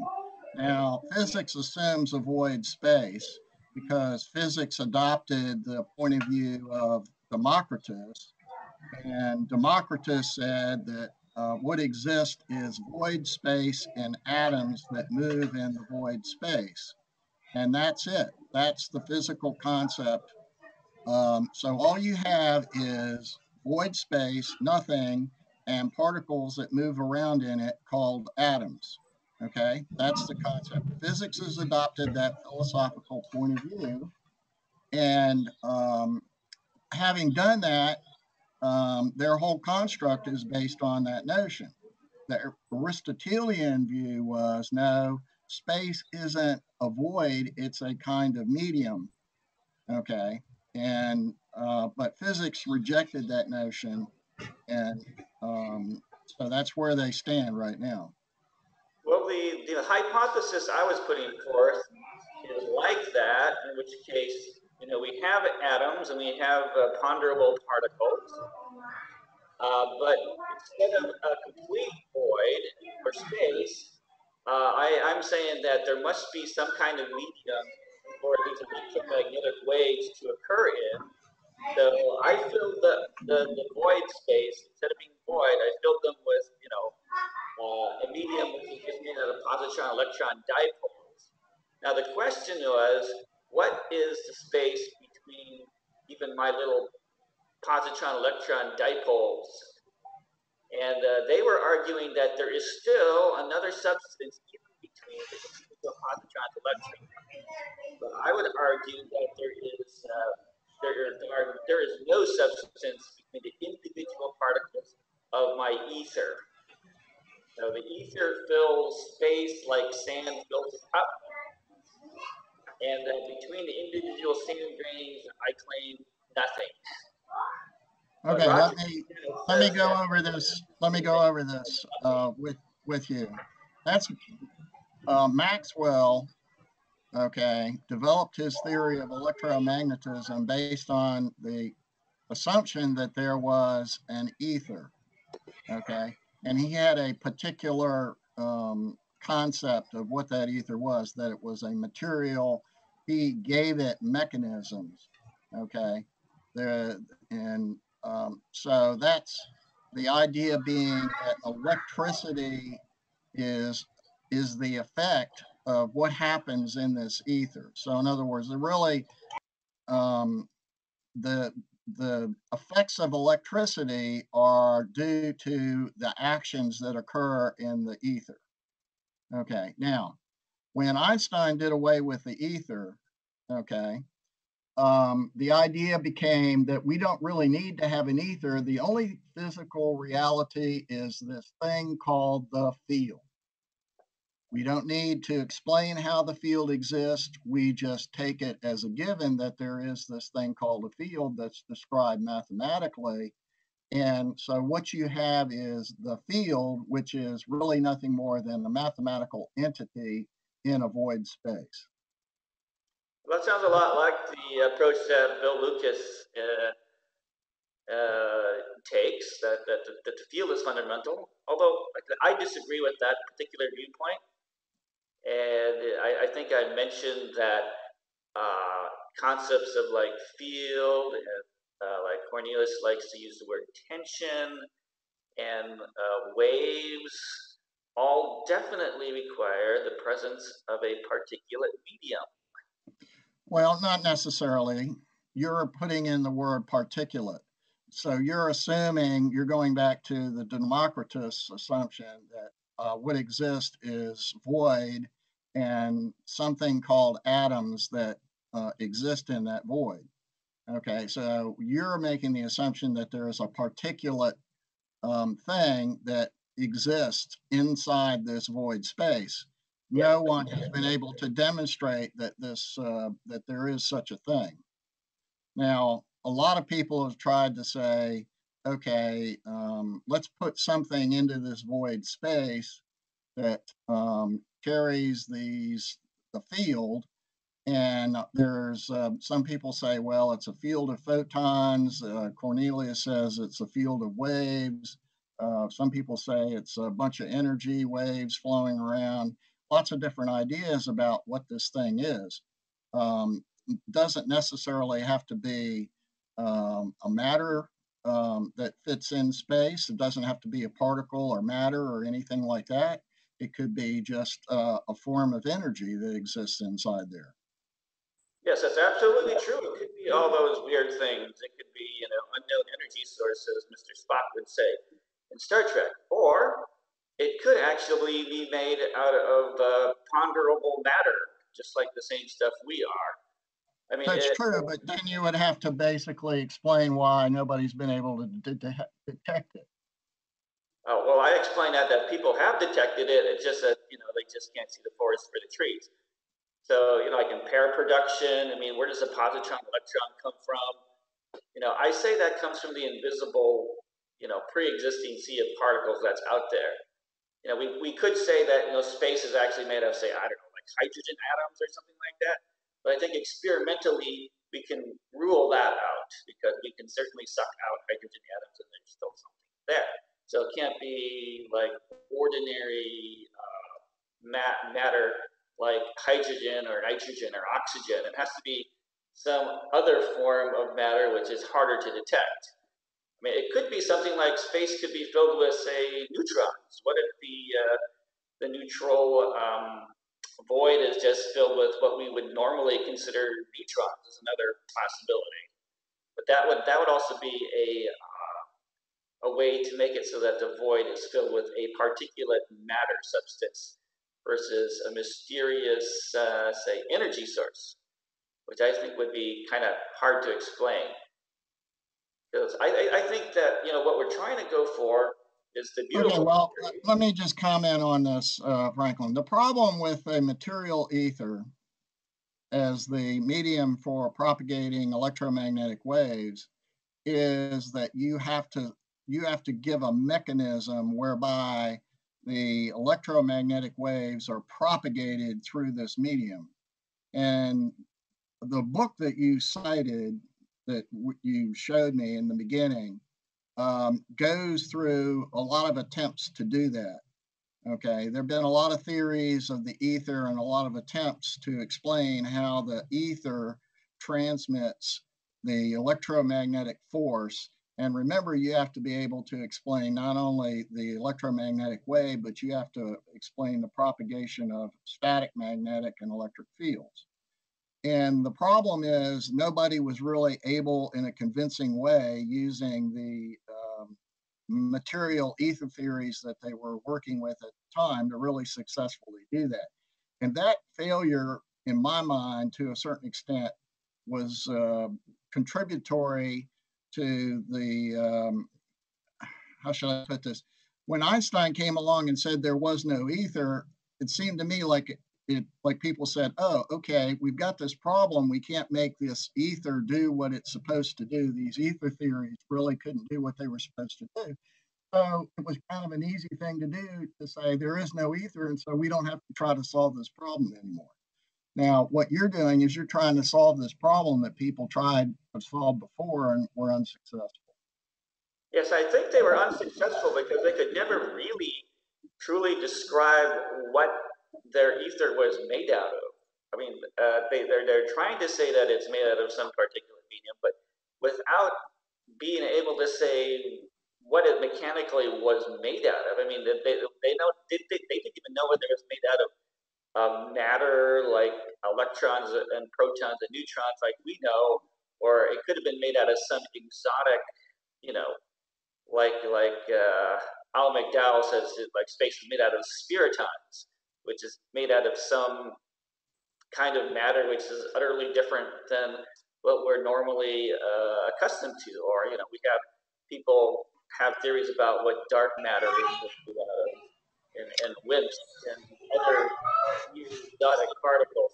So I, I think their failure is, is in part because of their, their inability to precisely describe So, and, and my idea is pretty simple. I, I'm saying that that particle is just a positron electron dipole, and that's it. Man. That's, I can't get any simpler than that. That be like the simplest combination of any particles you can make besides having a singular electron or singular positron. The next most complicated thing you can make is a positron electron dipole. I'd like to read a, a portion of an abstract of a paper I found this past week. Paper is called Electrodynamics and Elasticity. The paper was published in American Journal of Physics in 2003 by Valery Dmitriev. And the abstract, um, in part, says in the Coulomb gauge, electrodynamics can be formally mapped onto incompressible elasticity, which suggests that a linear elastic incompressible medium can serve as a model of electromagnetism. Now, when he says elasticity, I don't necessarily think he's talking a material as we know it made up of atoms. It's just the properties, the mathematical properties of a linear elastic incompressible medium formally maps electromagnetism. I find that very interesting. But once again, it really doesn't state, you know, what this incompressible medium is made out of. You Uh, you must you must. Uh, my, my, You're kind of cutting out on us there. um, yeah, I, I've got it on now. Um, you must uh, bring the, the problem back to its most fundamental format. Um, what you are trying to do is to uh, explain how the real numbers are, are coming from the ra- rational numbers. Rational numbers are uh, groups of um, uh, fractions that uh, are covering the complete system of real numbers. If you take uh, a convergent series of rational numbers, they go to a they go to a limit, but that limit doesn't need to exist within the rational numbers. In the real numbers, all these uh, limits exist. And for that reason, the real numbers are a continuum and the rational numbers are still countable. So if you have discrete particles, they are embedded in a continuum. The difference between what you think is uh, a kind of uh, medium, that this ether, uh, you're think, still thinking in terms of uh, the rational numbers. And a field is something that you can compare to a field. It is a continuum. The, the whole thing is in the number systems. Well, I, I Uh, don't think that physics is particularly numbers. I mean, I'm, I'm listening to this and, and I'm going, uh, no, I, I- this is not physics. Um, uh, rational numbers, Well, rational hold on, numbers. hold on, Franklin. He's making a pretty, he's making a, a real important point, but that goes to the other controversy about, uh, um, you know, discrete versus continuous, um, and the topologies of the discrete topology versus the continuous topology. And I think that's what you're getting at, Hans. And I understand what you're talking about. I'm not really sure Franklin and some of these other people will. Yeah, I don't understand. Sorry. Well, the idea, well, yeah, okay. Uh, what he's talking about is, uh, gets in, is, is the mathematics behind physics. So, so if you're talking about physics, okay, you can talk about, um, you know, doing experiments, but then you have to have a theory. And when you have a theory, you have to have mathematics. And as soon as you have mathematics, then there's all these different types of mathematics that can be used to describe physics. So which one are you going to choose? Well, I think it's interesting just to review kind of the problems we have with the ether. So one of the problems is that we don't know what it is. So it's kind of hard to find something we don't know what it is. Uh, number two, we have to figure out, well, how does this thing propagate uh, electromagnetic waves? And it seems that things like light and radio waves seem to be radically different, but are supposed to be kind of the same thing. And a third problem is basically how, say, polarization is another problem. Uh, how is it that we have these polarizing materials and. I think you've got a lot of kids in your background there. uh, kind of sounds like you're in a daycare. Uh, so we have to deal with polarization. The other problem that we have to deal with is that this apparent uh, ether has to also propagate the magnetic field, not less the magnetic field that's also not less the magnetic field is something completely different. But I think it would be preferable if the same ether could uh, also represent the uh, magnetic field. And, and, this is kind of like one of the objections I have to say the Epola theory, which is a salt crystal-like uh, representation of the positron electron sea. So it's very similar to what I believe in, except that he freezes the entire space into a, a crystal, uh, an ordered crystal lattice. But uh, that would eliminate, say, my explanation for the for the uh, the magnetic field, which would actually have to be an orientation of the positron electron dipoles. Because in order to have magnetic field, magnetic field has a direction and a magnitude. So whatever physical representation you come up for the magnetic field must have those properties. So if you can take a dipole and you can point it in one direction, that gives a direction, and the number of those dipoles that are pointed in that particular direction uh, would provide magnitude. So that would be an example of, of only one substance that would uh, be able to be compressible. And uh, this is why I kind of disagree with the, uh, uh, the conceptions of the ether being either a solid or being incompressible, because uh, only really compressible gas-like things can transmit uh, waves. And I think the waves that we see in radio are, are very, very comparable to the, the waves that we see in air, and we know how those ones work. So that's kind of some of the answers that I come up with. Now there was an interesting discussion I thought about, you know, there's a about whether uh, light is a particle versus a wave. And um, I think, you know, there, there is some agreement that that light, which comes out of the atoms from an electron process, uh, have this quanti quantization property to it. So that the, the, the wave, the light waves that come out of these, these electron uh, transiting things, which is like visible light, do have these particle-like properties in that they occupy only a limited uh, finite space. So they're like, they would be like a single bump.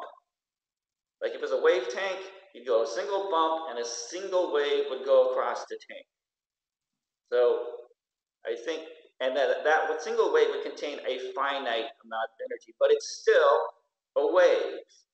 But it has the properties of a particle in that it's a finite fixed size like a bullet, and it only and it only goes in one direction like a bullet. So it, it has it has a frequency, but there would still be a longitudinal wave. Did you have a comment, Hans? Said it can be a bullet, but it still has a frequency. So it must have a finite length, and it must have that frequency within that finite length. Yes, it would have that. What we commonly consider the wavelength is actually the complete length of that bump that goes up and down. And I think the point was that That's if you correct. light coming from these electron generated processes, you would find it is actually not continuous, it's not a continuous sine wave. That you'd see it's an individual bump, another individual bump, another individual bump, but they're all overlapping So it kind of looks like it might be a continuous wave, but it actually isn't. I mean, this is maybe why we get the photoelectric effect that um, it's just because every single time, the only thing that's actually hitting the atoms are the individual bumps of energy. And all these individual bumps all have the same amplitude. So it doesn't matter how many of them hit the surface. Uh, they're only delivering just that constant amount of energy, and they, they it doesn't matter what the say the frequency is, um, because they can only they, they're all delivering basically the same amount of energy. Actually, I think the, I think it doesn't matter. The wavelength matters, but the, the intensity doesn't. Is, is the. Well, Franklin, I'd like to comment a little bit on this. My comment would be, um, we're talking about too many different things all at once. And um, that, you know, there's a lot of confusion here. Okay. So, I mean, uh, now you're talking about photons and what a photon is. And earlier you were talking about what magnetism was. And, you know, so my view on it is first off, you have to define what you mean by electric electricity and what you mean by magnetism. And then you have to decide something about the nature of those two things. And then you have to, based on that, you have to sort of figure out why, how do they act together to be an electromagnetic field? Okay. So now you got a real problem there. You know, you've got magnetism, you've got electricity, you've got to put them together. Okay. Um, I don't, you know, to me, you just sort of have to define the what you're talking about as you go along, and and you you can't just jump from oh we're talking about magnetism and now we're going to talk about photons. I mean, uh, you know, that this this it's just uh, a morass of confusion, in my opinion. Well, I think part of the determining whether the truth, whether a theory represents truth, is probably your ability to do exactly what you're talking about, which is to smoothly transition from talking about one subject to something that seems completely different, but is actually all part of exactly the same thing. So, you know, I, I just transitioned from talking So about. tell me what an electric, tell me, tell me what a magnetic field is and tell me what an electric field is and tell me what electromagnetic wave is. Okay, well, first of all, we start out with the medium, and this is my own pet theory. We start out with the medium, which is a positron electron dipole. Okay, so you fill space with all of that. Now, if you take an electron and you shove it one way through this medium, it's going to push Wait a minute, wait a minute, wait a minute. Where, where did this electron come from?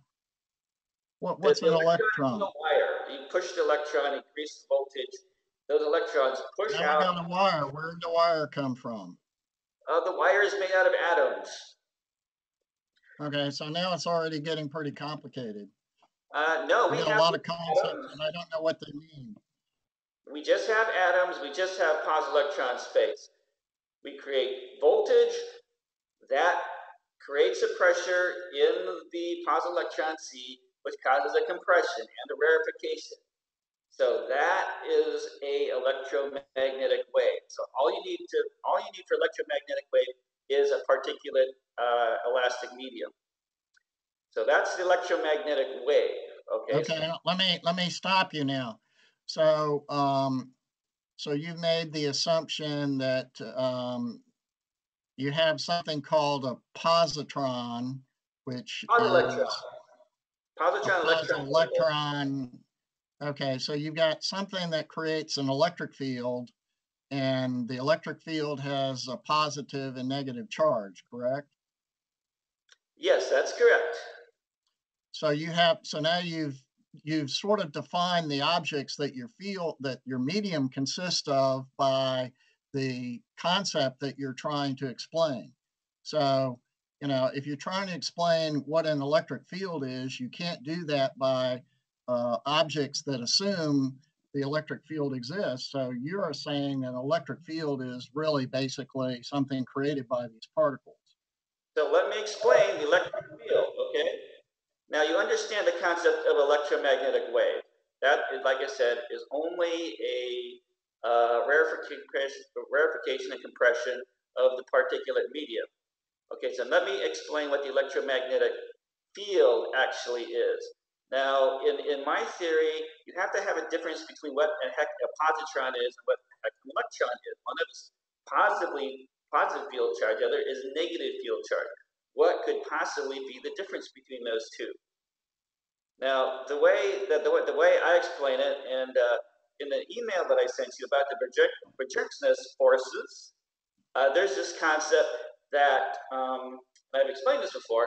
That if you have a pulsing sphere and you have one pulsing here this way, and you have another another one pulsing out of phase.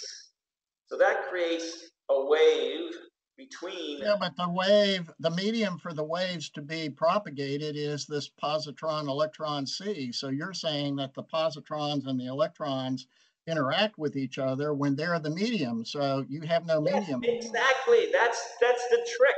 No, there is no medium. The there's no medium. How do they how do they interact when there's nothing to cause them to interact? You're explaining the phenomenon by hypothesizing a medium that relies on the phenomenon that you're trying to explain.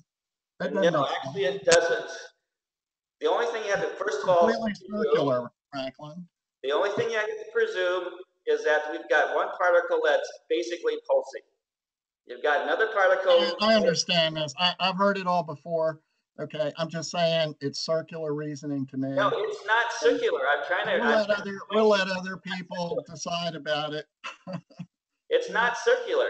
Now, Harry, the thing is that once you've got one thing that's pulsing this way, in and out, and in and out. Now, when you do this, you're getting an object which is basically the same size. It's actually no longer pulsing. And this is a positron electron, is that it actually becomes then a neutral object. See, now this is the only thing you need to propagate a wave is a neutral object that's not actually generating any waves on its own. So when you take a positron and electron together, they essentially do not have any kind of pulsing going on. So once I once you have your positron electron dipole and you put it next to something which is pulsing, then that is going to create a wave, right? So only the individual electron, which is going like this, can actually push the dipole away. So because this is a dipole, it is made out of positron electron, which is basically going like this. But because it's basically eating up the entire pulsing, it then becomes a non-pulsing neutral object. So it can serve as the medium for the wave of the individual electron. And this is what I'm saying is the electric charge, which is a very, it's just the resonant frequency of the electron, which is beating against the, the um, electron medium. And what we see, we see waves coming out of the electron. And we see that as the negative electric field. So the the key is the electric field is actually just an ordinary electromagnetic wave at, a, at probably a very, very high frequency. Other people have looked at it says that this frequency is something in the 10 to the 20th hertz, which is like way beyond gamma. So what we see as an electric field is just an electromagnetic wave, just like light. This is why the electromagnetic field can travel infinite distances because it propagates at exactly the same mechanism as uh, light does, which can travel an infinite distance. So it's not circular, Harry. The trick is, is that when you get a positron and electron together, they absorb they absorb the, the, the, the resonant frequency so that they essentially become a different kind of particle which can serve as the medium to propagate all these waves. Now, the, the argument was what happens between an, a, when a positron and electron are right next to each other, right? Then there's nothing between these two to attract each other, right? There's no way that that because the only way you can have attraction between positron electron if there's some other particles between that can propagate a wave. Now the question is, when these two things are right next to each other, you know, what keeps those apart? I claim nothing. There is no force that there's, uh, this is where the empty space argument comes in, that between the positron electron and the positron electron dipole, there's actually no space between those two. Franklin, Franklin, the, the electron and the positron have no arms to, to, to If hold they each other. anywhere else, then their, their pulse would not be absorbed by their partner pair. Right? If they're anywhere else, then, you know, if it- it's like this, then they, they would get pushed. They would get pushed away until it found its opposite. So it's just a geometric argument as to why they pair up. But, you know, if you put some energy in it, you would probably find that it's very easy to get them to kind of separate. Um, but as soon as they get far enough away, then the, the opposite pulsing will then draw them together again. So on average, uh, the positron electron sea will be just basically a neutralized sea of, uh, of particles. But it's definitely not circular. That mechanism can totally work. It's a conservation of particles in, in my theory that I don't have to invoke anything different that the medium can be made out of the individual particles that make up the media. Because the media, when they're together, the, those two particles have such different properties that they can serve as the general medium. So I don't know if I managed to teach you there, but Frank, Franklin, you can never solve, solve this if you don't try to understand what a continuum is. A continuum is definitely different from a set of discrete objects. Well, I'm saying that there is no continuum. This was the argument that between the positrons and electrons, I claim nothing. There's no continuum, there's no field, literally nothing. Yes, but these small things that you're talking about, they have they have no arms to to uh, catch or hold each other. They are not attached. Well, There that's the must be a, there must be something in between them that holds them together. But No, they have nothing. They have nothing to hold them together. The only thing that can happen between two particles are collisions, right? This is the only thing in empty space that can have one particle can hit the other particle, another particle can hit the other particle in Newtonian collisions.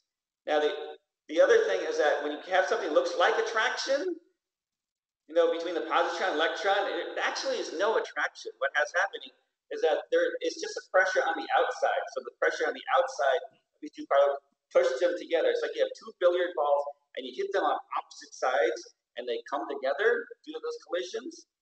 Now, you wouldn't necessarily call that an attraction, but it looks like an attraction, two balls coming together.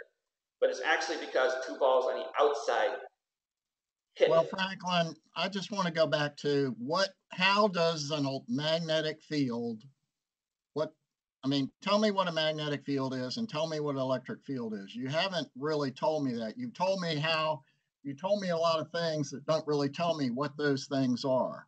I thought the electric field is just the, the electromagnetic wave coming off the electron as it resonates at its Okay, now, so now you've just, you've said the electric field is the electromagnetic wave. So you've used something that you haven't defined uh, to explain the something else. wave. Defined Yeah, in I this. define electromagnetic wave as the compression of the ether. So this thing's going out, it's pushing Yeah, out. but wait a minute, hold on. But from your point of view, the electric field is defined, is created the same way the magnetic field is, which is this oscillation back and forth of the. of- No, of the magnetic medium. field is very different. Okay, all right. Keep All right, that. well- This is the electric field. All it is is just a wave coming off pulsing electron. That's it. That is electric field. Drops off one over r squared. That's the electric field. Now, what, what is the magnetic field? Okay, when we have these positron electron dipoles that are just floating around, they can float around randomly. They can be pointing in any direction. But what- what I postulate is that if you have an electron that's just flying through space like this, going through one direction, as it flies by those positron, the positron electron dipoles will align as this electron is going by. So as you, so you have all these electrons going by, it's causing all of these elect, these, these dipoles to align in one direction. It's kind of like wind blowing through a field of flags, they all point in one direction. Now, once you have these, these dipoles all pointed in the same direction, that is the magnetic field. That's what I claim the magnetic field is just a polarization of this dipole sea. Because once you have these dipoles arranged, they're like plus, minus, plus, minus. If you take an electron, you try and shove it up perpendicular between there. It's like if this is a if this is an electron and this is a, a, a, a the positive end of the of the uh, dipole, then it's going to want to be attracted because on the opposite side could be an electron. On this side is positive, so it's going to want to deflect. So any electron heading through this polarized let's see is going to deflect in one direction. It will only deflect only if it cuts through the uh, dipoles, the, the spaces between the dipoles. And this is why there is no force, no magnetic force, unless the electron is moving. So do you understand that, Harry? So the the the, the, the polarization of the of the positive electron sea is the magnetic field. All right, well, it seems to me that your definition of the magnetic field could be equally created as the definition of the electric field because No, no, no, no, no, no, electric no. field would polarize the dipoles as well.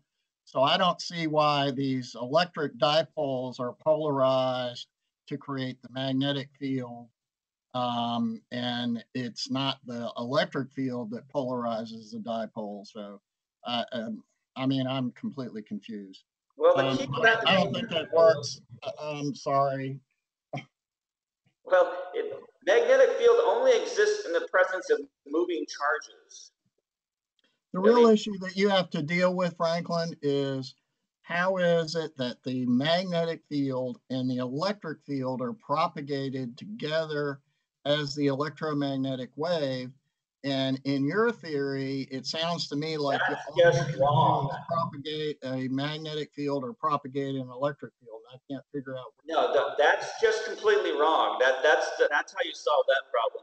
Because i- i- if you think that the that light is just uh, like an ordinary compression wave, then you can see that this whole concept of light being uh, like either transverse or being a combination of electro uh, electric and magnetic fields is completely I mean, this is just like it's so wrong. I don't even know how to begin to explain how wrong that is.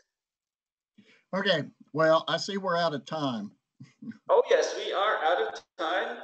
Actually, a little bit over time. But I mean, it, it's an interesting discussion, Harry. All the questions you ask are, are spot on. You know, what what is the what is the electromagnet? Well, what is the electric field? What's a bear? What's what's around an electron that causes it to have its properties? And then what's what is a magnetic field? And uh, how how can it have that properties? And how are the two related? You know, I think it may be a more interesting question as to, you know, how is it that magnetic forces can induce, say, electric, uh, you know, uh, uh, movements of electrons in wires, and and then vice versa. You know, this is this is a very important uh, thing that we use in electric motors, and uh, almost everything is based on that process of, of switching between uh, electric electricity and magnetic fields.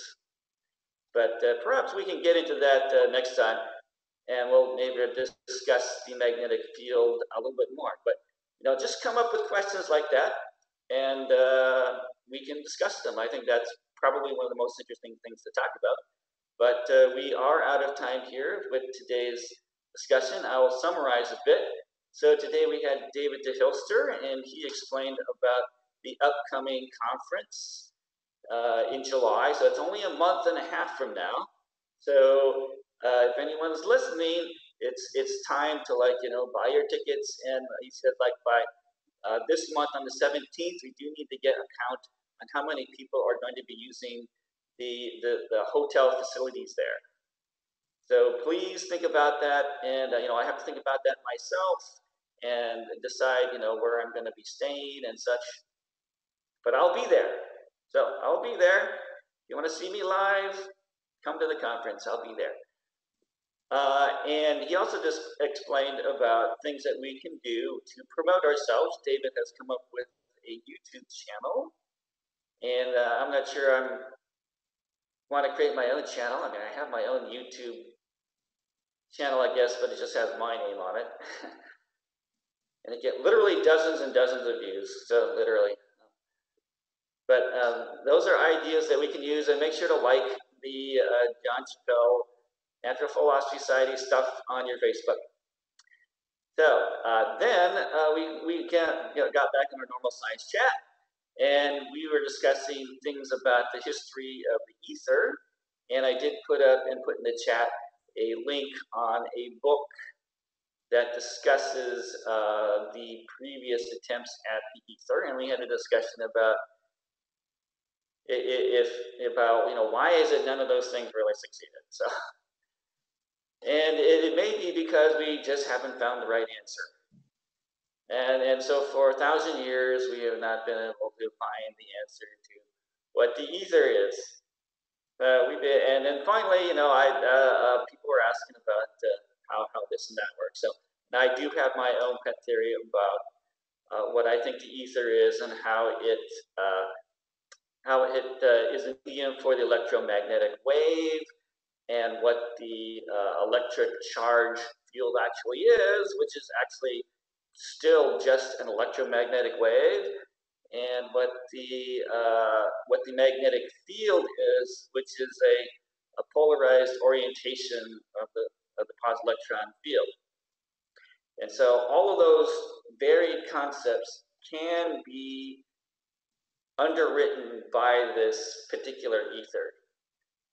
So, but if you want to learn more about it, we can talk about it next week. But I believe that this is the uh, this is the end for this uh, week's discussion, and hope to see you next week. All right, thank you.